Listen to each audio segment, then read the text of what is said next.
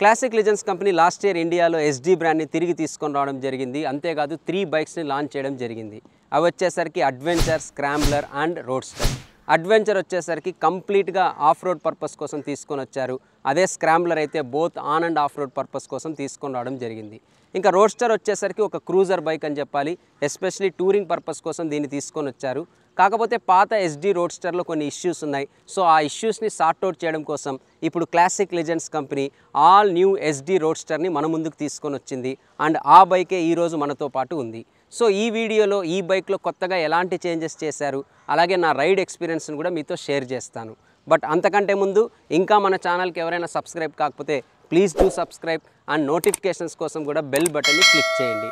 మరి ఇంకా లేట్ చేయకుండా let's see all new Yezdi roadster first change వచ్చేసరికి రైడింగ్ స్టాండ్స్ అండ్ కంఫర్ట్ అయితే కంప్లీట్గా చేంజ్ చేశారు. దీనికి మెయిన్ రీజన్ వచ్చేసరికి పాత రోడ్స్టర్లో మనకి ఫుట్ పెక్స్ ఎగ్జాక్ట్గా సెంటర్లో ఉండేది. అంతేకాదు కాలు కింద పెట్టిన ప్రతిసారి ఫుట్ పెక్ అనేది రైడర్ లెగ్కి టచ్ అయ్యేది. సో ఇప్పుడు దాన్ని సార్ట్ అవుట్ చేసింది ఎస్డి కంపెనీ సో ఇప్పుడు ఫుట్ పెక్స్ని వన్ ఫిఫ్టీ ఫైవ్ ఎంఎం ముందుకు తీసుకొని రావడం అయితే జరిగింది. సో ఇప్పుడు మీరు అబ్జర్వ్ చేయొచ్చు. ఫుట్ పెక్ అనేది కంప్లీట్గా ముందుకైతే ఉంది. అంతేకాదు ఈ హ్యాండిల్ బార్ కూడా హైట్ని అయితే ఇంక్రీజ్ చేయడం జరిగింది. సో ఇప్పుడు మీరు చూడొచ్చు మోర్ రిలాక్స్డ్ సీటింగ్ పొజిషన్ ఉంటుంది. అలాగే మీరు హైవేస్లో వెళ్ళేటప్పుడు కానీ లేదా టూరింగ్ పర్పస్ మీద వెళ్ళేటప్పుడు కానీ చాలా కంఫర్ట్గా ఉంటుంది. చాలా ఎఫర్ట్లెస్గా మీరు ఈ బైక్ని రైడ్ చేయొచ్చు. అండ్ దీనితో పాటు మనకి సీటింగ్ కూడా కొంచెం చేంజ్ చేశారు. అంటే ఇంతకుముందు రోడ్స్టర్లో సీట్ అనేది కొంచెం హార్డ్గా ఉండేది. ఇప్పుడు కుషనింగ్ అనేది ఇంప్రూవ్ అయ్యింది సో ఈ ఓవరాల్గా ఇవన్నీ ఫ్యాక్టర్స్ వల్ల రైడింగ్ స్టాండ్స్ కానీ లేకపోతే సీటింగ్ కంఫర్ట్ కానీ చాలా వరకు ఇంప్రూవ్ అయిందనే చెప్పాలి. సీటింగ్ కంఫర్ట్ అయితే ఇంప్రూవ్ అయింది కానీ బట్ పాత రోడ్స్టర్లో అయితే మనకి బ్యాక్ రెస్ట్ అనేది డిఫాల్ట్గా ప్రొవైడ్ చేశారు. కానీ కొత్త రోడ్స్టర్లో వచ్చేసరికి బ్యాక్ రెస్ట్ ఇవ్వలేదు. మీకు కావాలనుకుంటే మరీ మీరు అడిషనల్ యాక్సెసరీ కింద పర్చేస్ చేయాల్సి ఉంటుంది. ఇక్కడ గ్రాబ్ రైల్స్ అయితే ఇచ్చారు కానీ బట్ బ్యాక్ రెస్ట్ ఉండింటే మనం ఫ్యామిలీతో వెళ్ళేటప్పుడు కొంచెం ఇబ్బంది లేకోకుండా ఉండేది.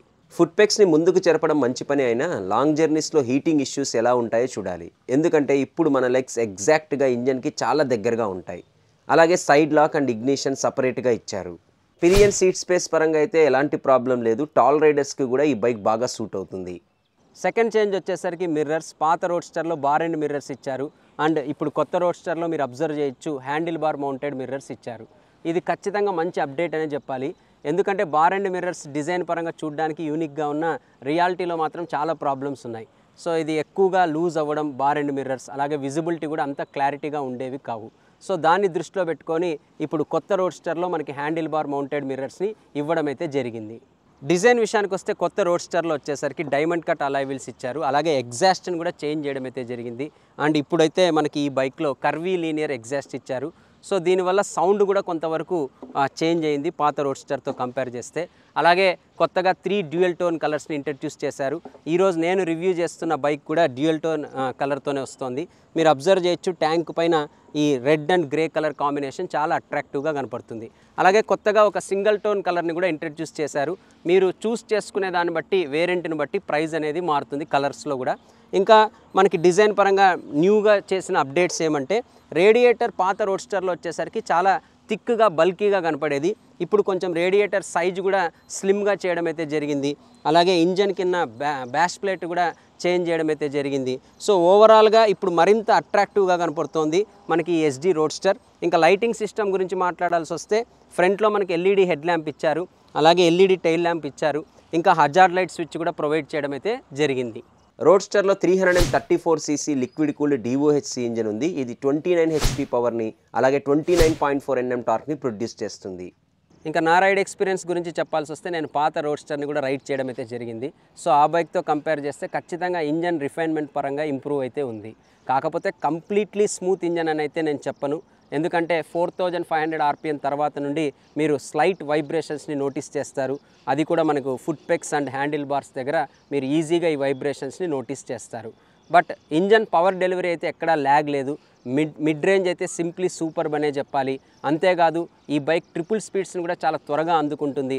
మీరు హైవేస్లో మీరు hundred to one twenty kilometre స్పీడ్తో కూడా ఎలాంటి ఇబ్బంది లేకోకుండా ఈ బైక్తో క్రూజ్ చేసుకుంటూ వెళ్ళొచ్చు.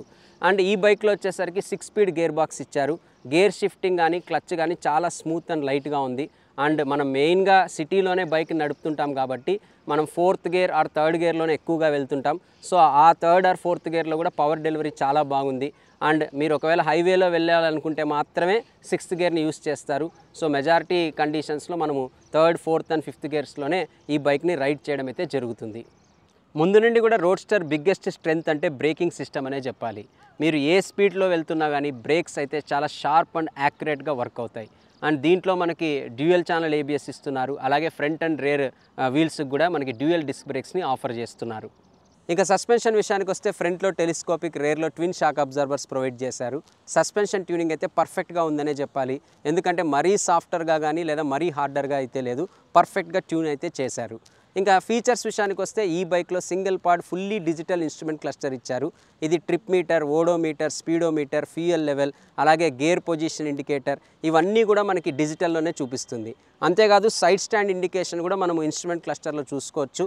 కాకపోతే ఒక్కటే ఎక్స్ట్రీమ్ సన్లైట్ కండిషన్స్లో ఇన్స్ట్రుమెంట్ క్లస్టర్ విజిబిలిటీ అంతగా అయితే లేదు. అండ్ అలాగే యూఎస్బి ఛార్జింగ్ పోర్ట్ కావాలనుకుంటే మీరు అడిషనల్ యాక్సెసరీ కింద పర్చేస్ చేయాల్సి ఉంటుంది. ఈ బైక్ లీటర్కి twenty eight to thirty four kilometres వరకు మైలేజ్ని ఇస్తుంది. అండ్ ఫ్యూయల్ ట్యాంక్ కెపాసిటీ వచ్చేసరికి ట్వెల్వ్ పాయింట్ ఫైవ్ లీటర్స్. ఇంకా కొత్త ఎస్డి రోడ్స్టర్ అనంతపూర్లో ఆన్ రోడ్ ప్రైజెస్ విషయానికి వస్తే rupees two lakh sixty one thousand నుండి rupees two lakh sixty eight thousand వరకు ఉంది. అంటే కలర్ని బట్టి ప్రైస్ అనేది వేరీ అవుతూ ఉంటుంది. ఒకవేళ మీరు ఈ బైక్ గురించి ఎగ్జాక్ట్ ఆన్ రోడ్ ప్రైజెస్ గురించి తెలుసుకోవాలన్నా లేదా ఈ బైక్ని టెస్ట్ రైడ్ చేయాలనుకున్నా అనంతపురం రుద్రంపేట హైవే మీద ఉన్న జావా షోరూమ్ని కన్సల్ట్ అవ్వండి.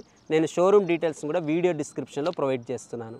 సో ఇంకా ఫైనల్గా ఈ బైక్ని తీసుకోవాలా వద్దా అని నన్ను ఎవరైనా అడిగితే నేను ఖచ్చితంగా రికమెండ్ అయితే చేస్తాను. ఎందుకంటే పాత రోడ్స్టర్లు అయితే ఖచ్చితంగా చాలా ఇష్యూస్ ఉన్నాయి.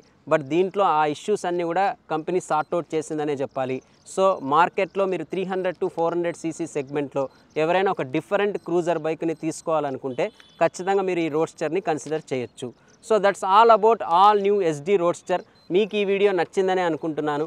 నచ్చినట్లయితే లైక్ చేయడం షేర్ చేయడం మర్చిపోకండి. మరొక వీడియోతో అతి త్వరలోనే మిమ్మల్ని కలుస్తాను. Until then this is Vaibhav signing off bye bye